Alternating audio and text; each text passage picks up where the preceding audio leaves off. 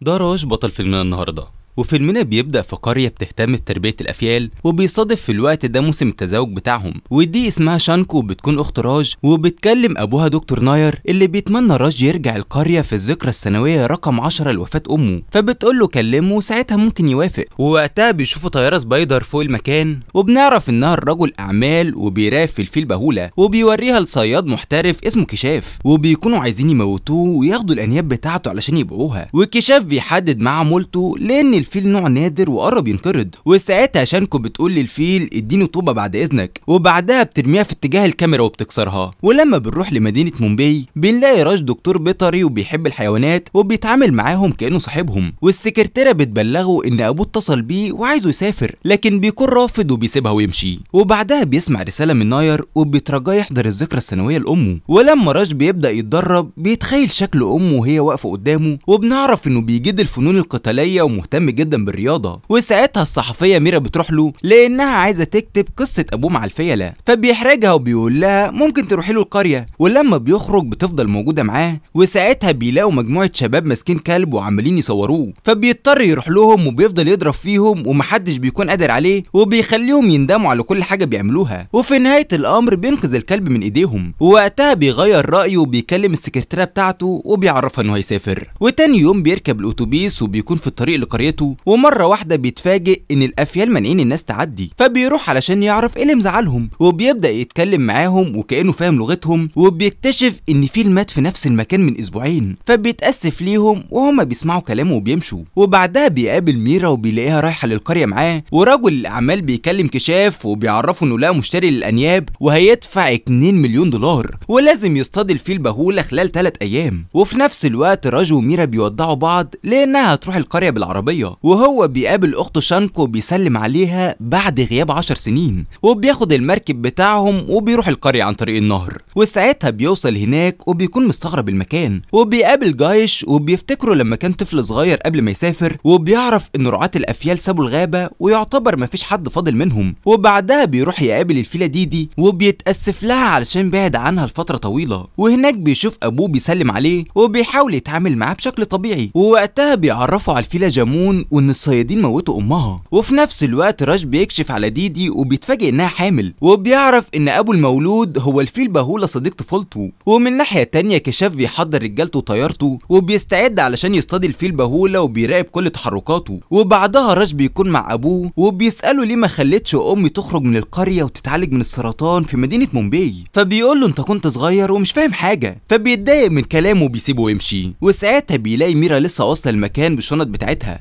وبتروح تتعرف على دكتور ناير وبتبلغه انها صحفية وجاهزة علشان تعمل معاه لقاءات. وبعدها شانكو بتطلب من أخوها يفضل معاهم كذا يوم بعد ما يخلص الاحتفال بالذكرى السنويه لأمها. لكن بيرفض لأنه مرتبط بشغل كتير وهيسافر. وبعدها بيركب الموتوسيكل وبيسيبها علشان يشوف الفيل بهولة. وهو في الطريق بيفتكر في كل ذكرياته معاه وإزاي كانوا بيعملوا كل حاجة مع بعض. وأول ما بيوصل الغابة بيمسك تعبان في اللحظة الأخيرة وبيحطه جنب البيت بتاعه وبيحاول يطمنه. وبعدها بيقابل الفيل بهولة وبيقف قدامه وبيخليه يتعرف عليه. وساعتها بينفذوا الحركة اللي كانوا بيعملوها دايما زمان. ووقتها بيفضل يجري وسطهم وكأنه واحد منهم. وبينزل معاهم النار وبيلعبوا مع بعض. وفي نفس الوقت كشاف بيشوف في الكاميرا بتاعته الفيل واقف مع واحد ومستغرب الموقف. وراج بيودع صديقه بهولة قبل ما يسافر وبيبارك له علشان هيكون ابه قريب. ولما بيجي الليل ناير بيعمل لقاء صحفي مع ميرا. وبعدها بيروح لابنه راج وبيقول له أمك هي اللي رفضت تتعالج في المدينة لأنها كانت متمسكة بالمكان ومش عايزة تسيب الأفيال.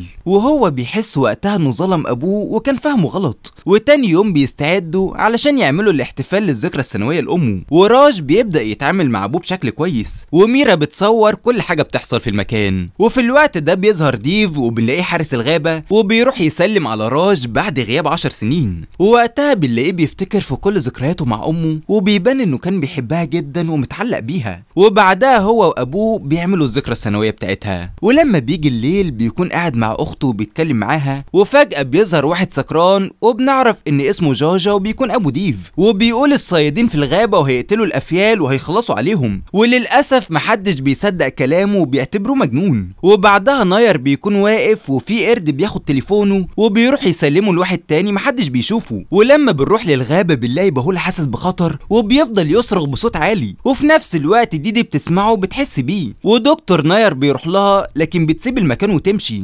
فبيركب العربية بتاعته وبيكون وراها وبيدخل الغابة وراج بيصحى من النوم وبيحس بحاجة غريبة وبيعرف من ميرا وأخته إن أبوه موجود في الغابة فبيخاف عليه وبيركب الموتوسيكل وعايز يلحقه وفي نفس الوقت الصيادين بيفضلوا يقتلوا في كل الأفيال وبيخلصوا عليهم وبعدها كشاف بيمسك القناصة وبيضرب بهولة كتير جدا لحد ما بيقدر يموته وبيقع على الأرض وبيفقد الحياة. ولما راج بيوصل المكان بيلاقي ناس عايزة تموته وهو بيدافع عن نفسه وبيفضل يضرب فيهم ومحدش عارف يقف قصاده لكن في النهاية بيسيطروا عليه وبيقع على الأرض. وبعدها ديدي بتلاقي جوزها ميت قدامها وبتصرخ. ودكتور ناير بيشوف الصيادين بياخدوا الأنياب بتاعة الأفيلة. وأول ما كشاف بيلاقيه واقف قدامه بيمسك السلاح وبيضربه بالنار. وديدي بتسجل المشهد اللي حصل في الذاكرة بتاعتها. وساعتها راج بيوصل لهم وبيشوف بهولة مقتول. وبعدها بيلاقي أبوه مضروب بالرصاص ومش عارف يساعده. وللأسف بيطلع في الروح قدامه وبيفقد الحياة. والشرطة بتروح المكان وبتتفاجئ من منظر الأفيال اللي ماتت وشانكو بتكون مصدومة وبتفضل تعيط على أبوها. ووقتها راج بيتعهد هينتقم من الناس اللي قتلوه. وتاني يوم الشرطة بترجع الأنياب اللي اتسرقت وبتولع فيها قدام الناس. وميرا بتكون هناك وبتصور كل حاجة. وفي نفس الوقت راج بيستعد علشان يعمل مراسم الجنازة. والأفيال كلها بتحضر للمكان لأنهم كانوا متعلقين بدكتور ناير جدا. وبعدها بيولع في جثة أبوه بيكون زعلان عليه. والأفيال بتاخد واجب العزاء وبتسيب الجنازة وتمشي. وساعتها الشرطة بتوصل المكان وبتبلغ راج إن أبوه كان متواطئ مع الصيادين وفي تسجيلات تليفونية بينهم. فبيتضايق من كلام الضابط وبيحاول يضربه وساعتها بيقبضوا عليه وبيحطوه في العربية. ولما بيروح القسم بيكلبشوا إيديه والضابط بيأمره يمضي على اعتراف إن هو وأبوه متآمرين مع الصيادين. فبيرفض كلامه وبيفضل يضرب فيهم بالرغم إن هو متكلبش ومحدش بيكون قادر يقف قدامه أو يسيطر عليه. وشانكو بتوصل مع ديدي المكان وبتقدر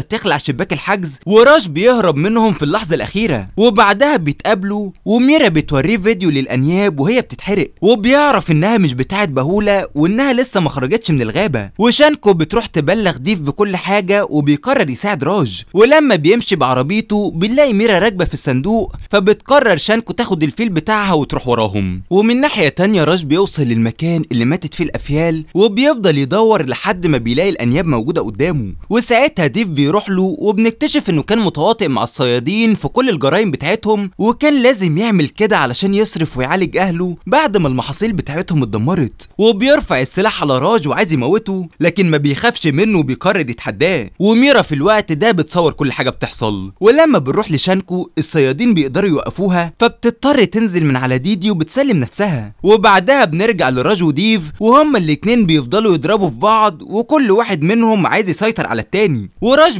بيسأله مين اللي قتل أبويا؟ وديف بيقول له أنا وأنت مش هنقدر نقف قصادهم. وساعتها ناس بتهجم عليهم وهم بيدافعوا عن نفسهم وبيحاولوا يتخلصوا منهم لحد ما بيظهر كشاف ورجالته وبيلاقوا شانكو معاها وبيهددوها بالموت. ولما ديف بيحاول ينقذها بيقتلوه وبيقع على الأرض. وبعدها بيضربوا راج بالنار وبيتصاب جدا. وميرا بتشغل سيرينة الشرطة علشان يخافوا ويهربوا. وهم بياخدوا الأنياب وبيسيبوا المكان بسرعة. ووقتها بنلاقي راج مصاب وفاقد الوعي لكن جاجا بيروح له بيلاقيه لسه عايش؟ وبيقدر يعالجه وبيخرج رصاصة منه وبعدها بيولع في ابنه ديف وبيفضل يعيط وزعلان عليه. ومن ناحية تانية كشاف ماسك شانكو ومسيطر عليها وبياخدها معاهم في المركب وبيكونوا ماشيين في النهر.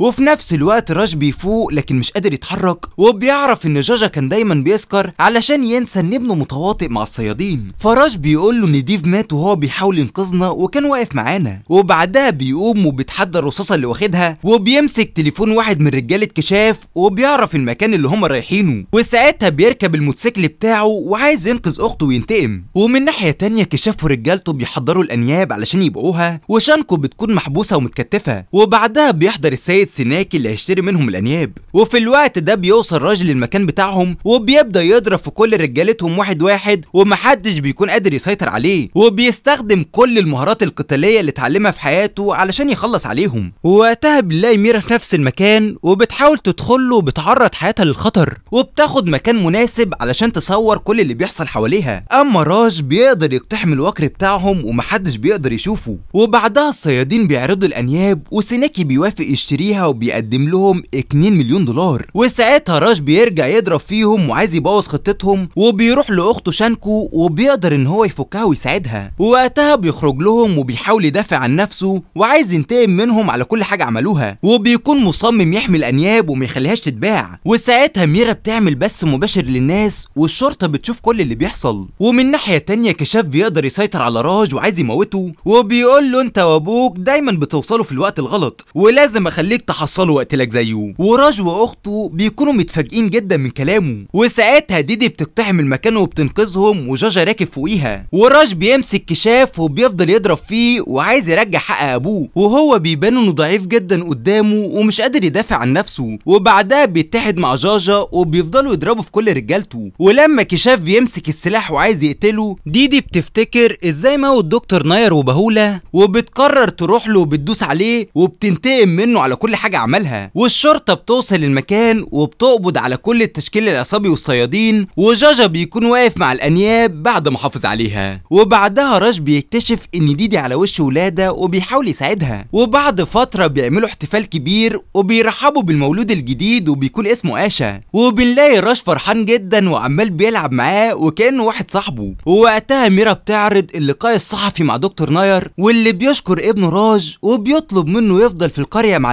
الأفيال ويحاول يمنع الناس من سرقة الأنياب اللي بيستخدموها في الزينة وكسب الثروات. وفعلا راج بيسمع كلام أبوه وبيفضل عايش في الغابة. ومن هنا بيخلص فيلمنا. لو عجبك الفيديو دوس لايك واعمل اشتراك لقناتنا فيلم في حدوتة وفعل زر الجرس. واستنونا في فيلم جديد.